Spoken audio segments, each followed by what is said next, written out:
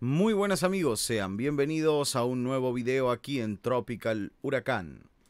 Podemos observar cómo el eclipse está haciendo sus efectos en el mundo sismológico. En esta ocasión vamos a ver y hablar de los terremotos que han acontecido en las últimas horas luego de un eclipse lunar total. En las últimas horas, este eclipse lunar ha tenido lugar desde la zona de Colombia hasta Australia, generando así un evento astronómico magnífico para las retinas de quienes pudieron observarlo se encontraban en las locaciones necesarias.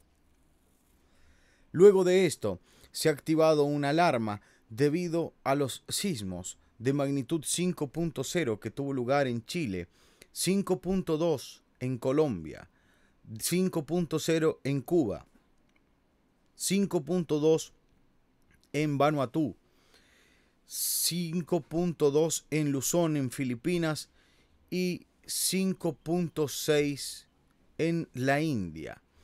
Este último sismo es uno de los más importantes que ha tenido lugar en, las últimas, en los últimos días, pero todo esto, según conjeturan algunos teóricos, se debería a la fuerza gravitacional ejercida por la Luna y el Sol.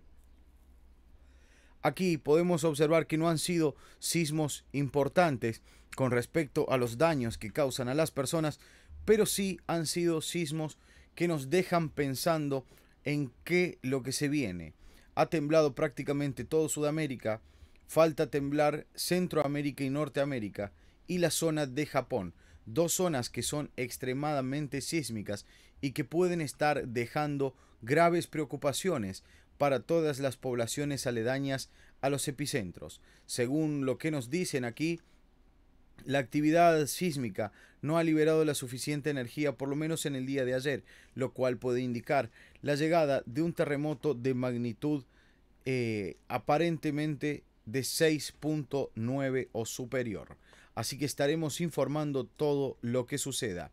Amigos, sin más que decirles, no olviden suscribirse, darle like y activar la campanita.